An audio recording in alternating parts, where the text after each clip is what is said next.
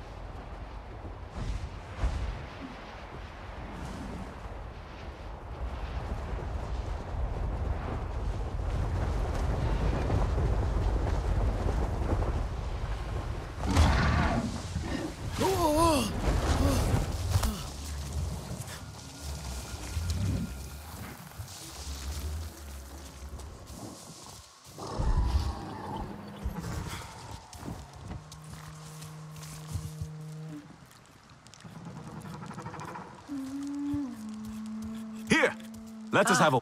More King Laura ready to leave our tree. Etua has been asking after you. I think she would like you to have the honor.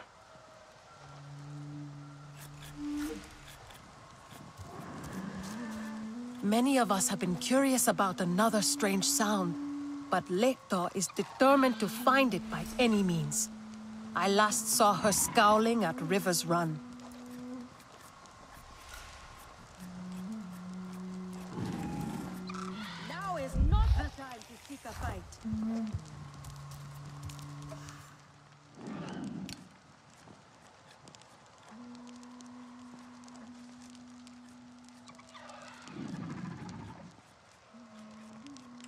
Lua may be reckless, but she has good instincts.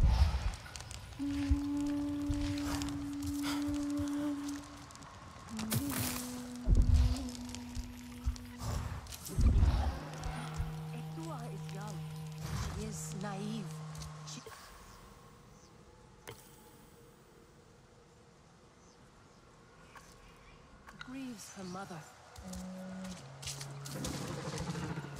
Each day out in the forest is one more gift from Eywa.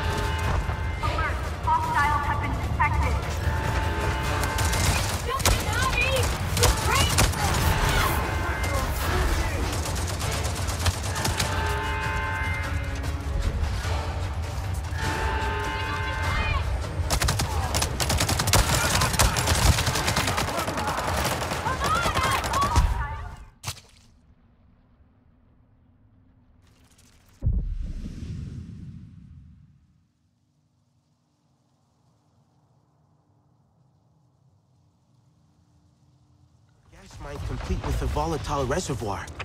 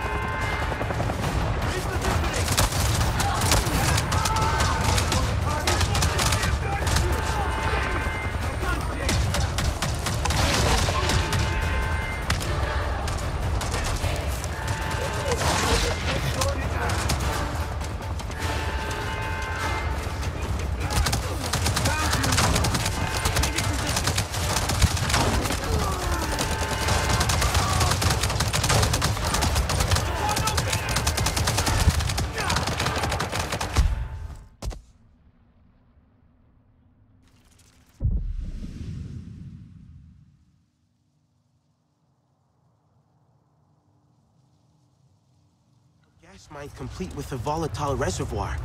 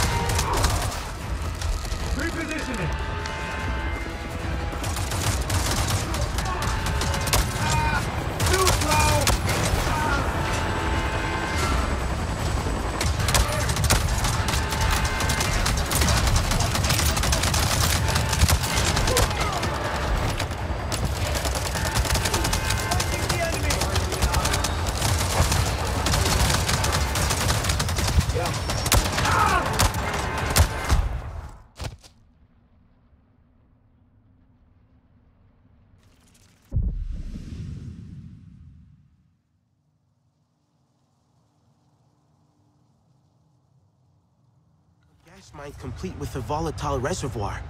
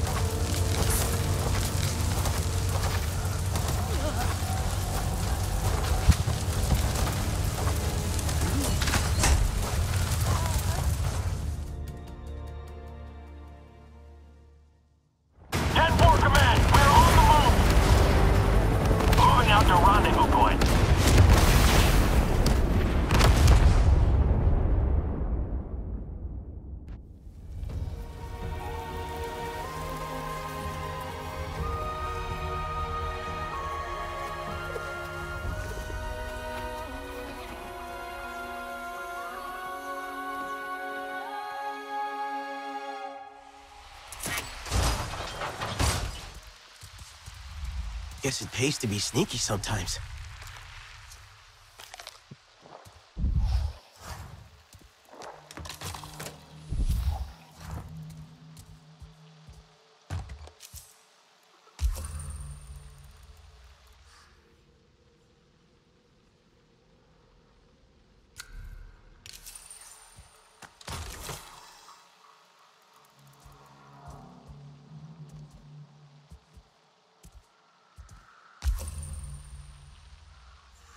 On the topic of our current ground clearing methods, while I appreciate the settlement director's concerns over the use of defoliants prior to the mechanical removal of the heavier vegetation, I can assure you this poses no risk to our future human settlers. Yes, operators have reported experiencing a metallic taste when in the processed zones, but our masks are perfectly adequate for filtering out any major contaminants from the air. While this, of course, leaves the potential issue of dermal absorption, I would like to point out that by the time any actual settlers arrive in the process zones, all above ground defoliants will have been washed away by the rains. As for our preference on the defoliants as opposed to fire, we are able to deploy them without inciting an immediate response from the Na'vi, thus preserving SecOps resources which I keep being told are a highly limited commodity all of a sudden. I trust this addresses all of your concerns on the matter.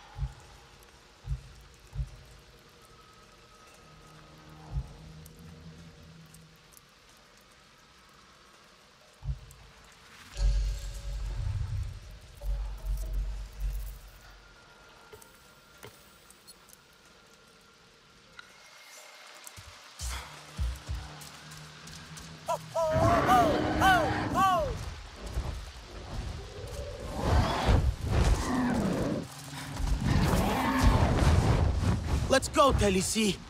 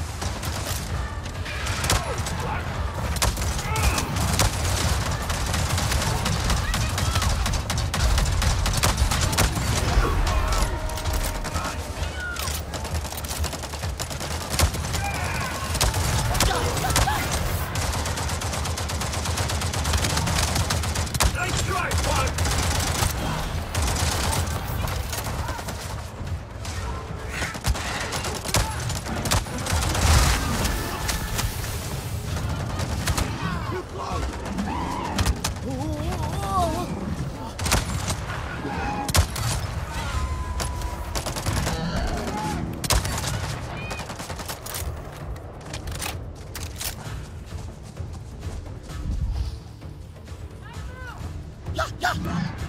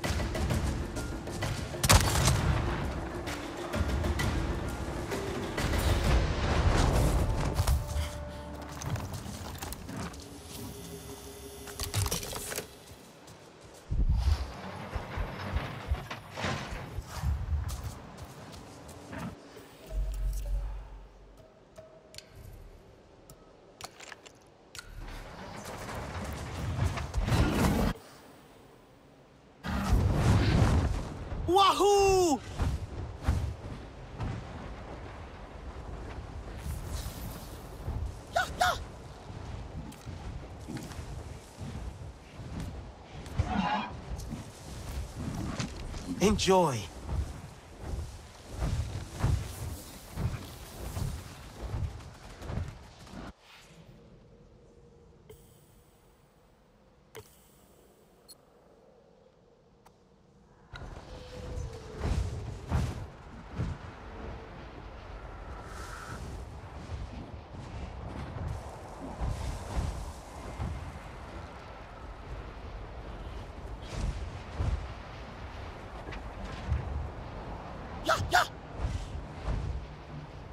There's towers hammering the ground, shaking everything. Seismic tower. Finding resources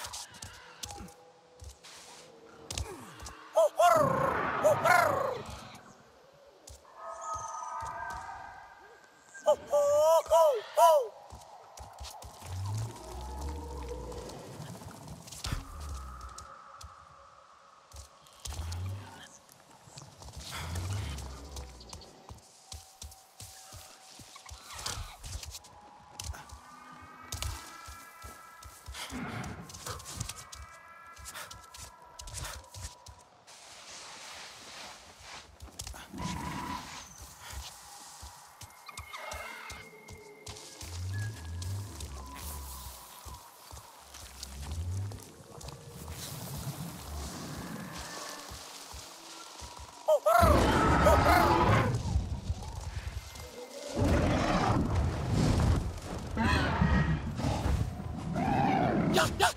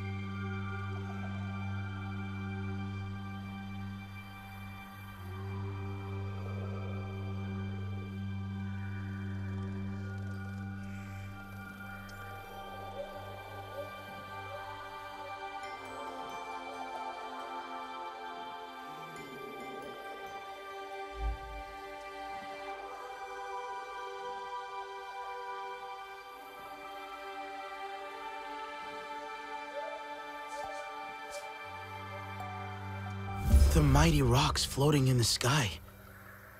They're quiet now, but it's like the wind brings a distant memory of them.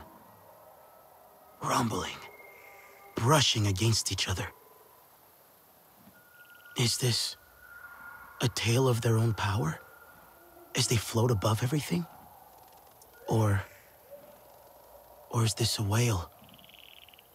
As if they want to reunite with the land below?